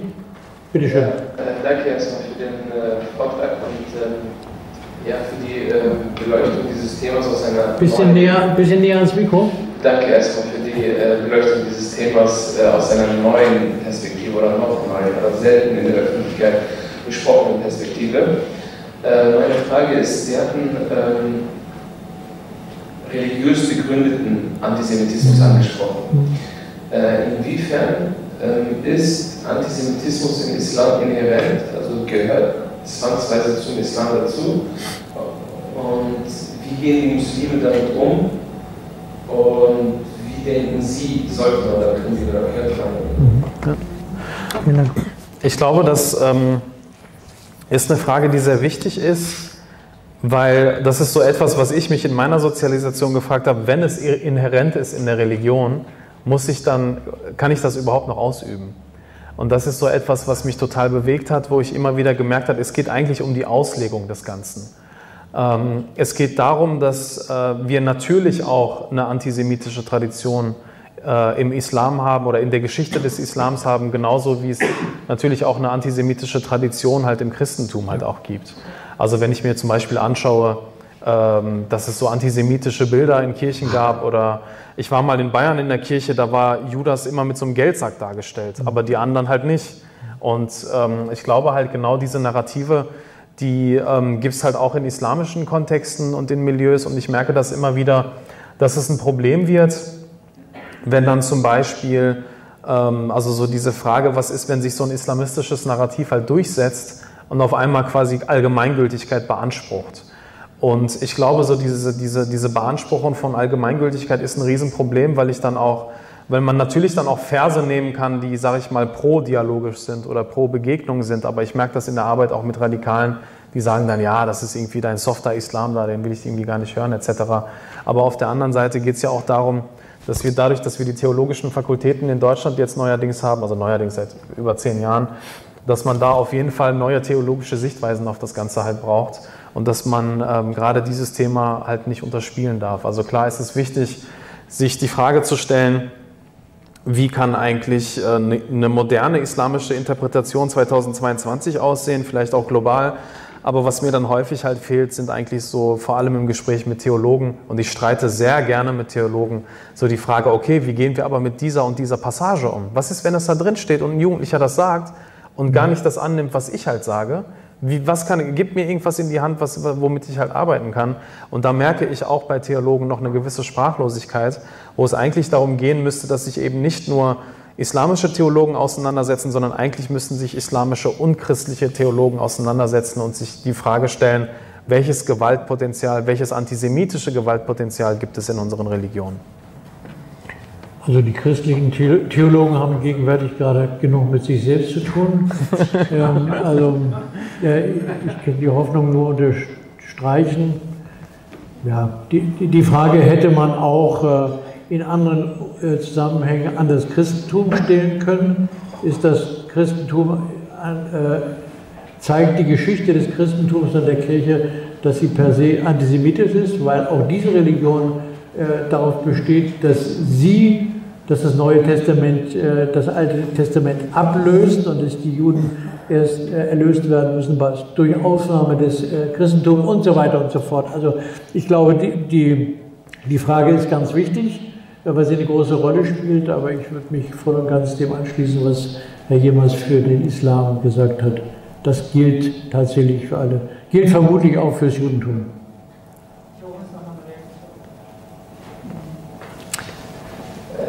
Noch eine, eine, Nachfrage noch, bitte. Ja, eine zweite Frage. Ja, bitte. Ähm, ja, äh, Antisemitismus in muslimischen Kreisen ist auch meiner Meinung nach oftmals darin begründet, dass man eine gewisse Verbundenheit äh, zu den Palästinensern darüber verspürt, dass man genauso wie die Palästinenser muslimisch ist, oder sich da wirklich in einer Religionsgemeinschaft äh, vermeintlich äh, äh, befindet ähm, jetzt, genau, jetzt fällt mir eine Frage wieder. Äh, die Frage ist, ähm, genau in diesem Kontext, ähm, wo ist die Grenze zwischen Israel-Kritik, jetzt hm. bezogen auf Palästina, äh, mhm. Palästina und Israel-Konflikt, äh, und äh, Antisemitismus? Also wo ist da sozusagen die rote Linie? Ja. Ich glaube, eine rote Linie, die sehr wichtig ist, ist, ähm, Menschen ihre Existenz absprechen oder auch Israel seine Existenz absprechen.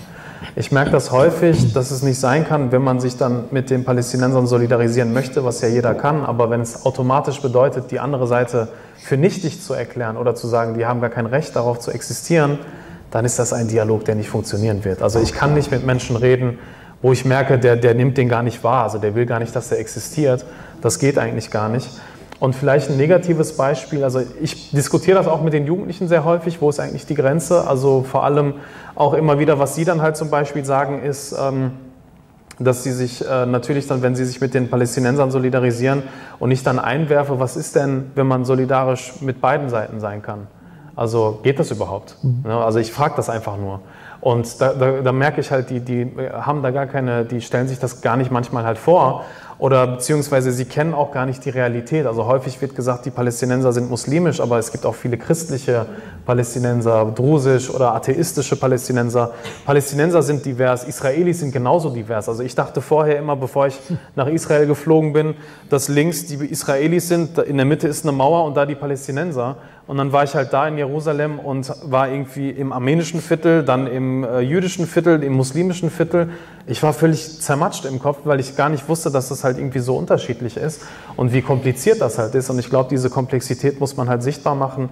Ähm, und in dem Kontext ist es eigentlich wichtig, dass wir ähm, vor allem, was das Thema angeht, ähm, ich, komme aus NRW, wir hatten in Gelsenkirchen einen riesengroßen äh, Skandal gehabt jetzt im Mai da sind Jugendliche vor die Synagoge in Gelsenkirchen gegangen und haben halt antisemitische Parolen skandiert, weil sie angeblich Israel kritisieren wollten. Und das hat mit Kritik gar nichts zu tun. Also das ist einfach nur Hass, das ist einfach nur Hetze, das ist Antisemitismus vom Feinsten. Und da muss man eigentlich genau solche Fälle mit denen halt einfach besprechen, um zu fragen, okay, warum geht ihr zum Beispiel nicht vor die Botschaft und äh, hält da Reden einen nach dem anderen und geht in, anstatt irgendwie mit so einem Mob direkt von der Synagoge halt zu gehen. Also das sind schon eigentlich so Fälle, die schon ganz klar eindeutig antisemitisch sind. Ja, vielen Dank. Ich habe vorhin vergessen, mich äh, zu bedanken hier beim Kokon, bei dem wunderbaren, gemütlichen Veranstaltungsort. Das will ich gerne nach, äh, jetzt noch machen. Allerdings mit, mit, dem Zusatz, es ist ein bisschen frisch hier. Äh, äh, also äh, möchte ich doch bemerken, das ist eigentlich die Erklärung dafür, dass ich hier auch im Moment keine Wortmeldung, dass ich denke, dass wir zum Glühwein übergehen sollten, wenn wir noch hier bleiben. Ich möchte ein, zwei Dinge noch sagen, also ganz ernsthaft nochmal hinweisen auf den kleinen Büchertisch vom Buchladen Ostertor. Das ist wirklich ein, ein ganz spannendes Buch und sehr lebendig, sehr persönlich geschrieben. Insofern wirklich ein Unikat, ja. Ähm, das können Sie da erwerben. Herr Jemers wird es auch, wenn Sie möchten, äh, noch äh, signieren. Ganz am Ausgang liegen ein paar Broschüren von der DEG. Können Sie gerne mitnehmen. Auch das äh, Programm, das inzwischen muss man sagen, Restprogramm von der Veranstaltung Gedenken an die Opfer des Nationalsozialismus, bei der wir ja auch hier ein Teil von sind. Und äh, ich soll hinweisen, das mache ich sehr gerne, dass am kommenden Donnerstag, also heute in einer Woche auch um 19 Uhr, eine, Podiumsdiskussion stattfindet mit dem Titel Braucht es ein neues Erinnern? Also eine direkte Fortsetzung eigentlich der Diskussion, die wir heute hatten. Äh, die Landeszentrale organisiert das, äh, lädt ganz herzlich dazu ein und äh, Sie sind da willkommen. Und ich glaube, ich habe jetzt nichts vergessen, außer Herrn Jemers ganz herzlich zu danken. Er, ist, er hat erzählt, wie viel er unterwegs ist äh, in Deutschland mit dem Buch. Das ist wunderbar. Aber er hat auf Anhieb gewusst, dass er heute in Bremen ist. Und das ist nicht selbstverständlich, dass man das dann auch noch weiß. Also, äh, Herr Jemers, ganz herzlichen Dank. Das war sehr schön. Danke für die Einladung. Danke.